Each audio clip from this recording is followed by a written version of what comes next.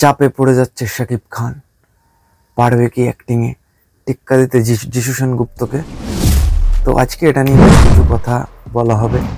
এটা নিয়ে বেশ কিছু কথা বলব কারণ অলরেডি আগামীকাল সন্ধ্যা সাতটায় তুফানের বিগ ধামাকা বিগ আপডেট আসছে এবং অলরেডি কিন্তু ঢালিউডের আকাশে বাতাসে অলরেডি কিন্তু একটাই গুঞ্জন যে শাকিব খানের সঙ্গে আমরা যিশু সেনগুপ্তকে পাচ্ছি।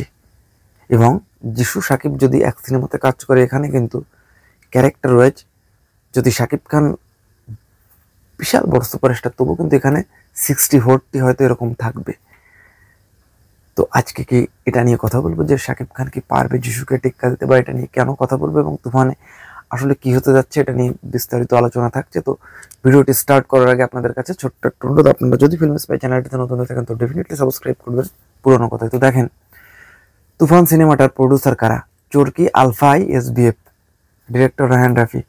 তো বাংলাদেশ, ভারতের সবচেয়ে বড় প্রোডাকশন হাউসগুলো মিলে যেহেতু সিনেমা বানাচ্ছে, এখানে যিশু সেনগুপ্ত থাকতেই পারে।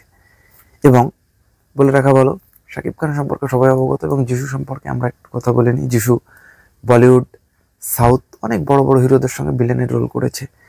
বলিউড হোক, সাউথ হোক এবং কলকাতা, তিনি প্রসিদ্ধ আর্টিস্ট এবং কলকাতায় যদি টপ তিনজন হাইয়েস্ট পেইড অ্যাক্টর থাকে, হয়তো যারা পার মুভিতে সেভেন্টি লাক্স বা ওয়ান কোর বা one point five crore charge করে থাকে, তো তাদের মধ্যে যিশু সেনগুপ্ত একজন। আমি বলে দিলাম যে তার এক্সাক্ট রেমুনেশন কীরকম তিনি নেয়।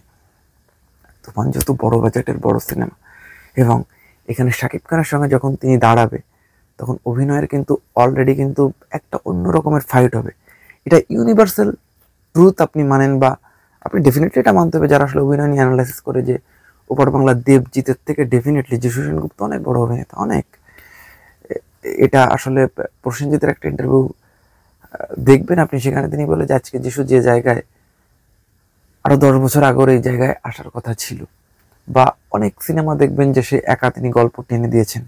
অনেক কমেডি সিনেমা নকল সিনেমা একটা সিনেমার নাম বলি, কেলোর কীর্তি যেটা দেখেন যে সে কমেডিতেও দুর্দান্ত মানে যে কোনো ক্যারেক্টার সে দুর্দান্ত। এখন শাকিব খানের সঙ্গে যখন হেড টু হেড কম্পেয়ার হবে, তখন কি হবে ফলাফল?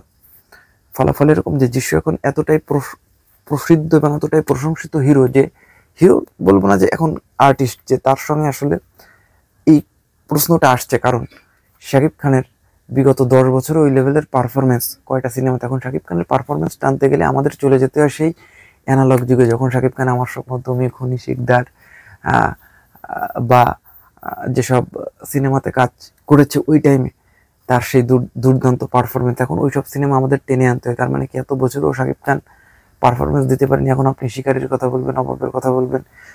বাট যিশু এখন জাতিস্বরের পর থেকে যিশু যেসব পারফরমেন্স যেসব সিনেমাতে যেরকম অ্যাক্টিং করেছে, এসব কিচ্ছু না।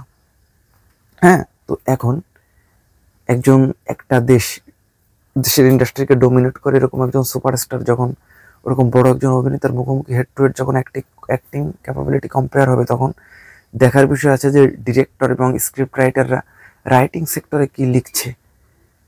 কার ইফোর্ট কীরকম দিচ্ছে এবং শাকিব খান ছাড়িয়ে যেতে পারবে কি পারবে না যিশুকে এটা সময় বলে দেবে। বাট একটা কিছু হতে যাচ্ছে এবং এটা নিয়ে আপনাদের কি মতামত? এটা আমাকে জানাবেন I waiting for your comments দেখা হচ্ছে নেক্সট কোনো ভিডিওতে। সব সবাই ফিল্ম সঙ্গেই থাকবেন।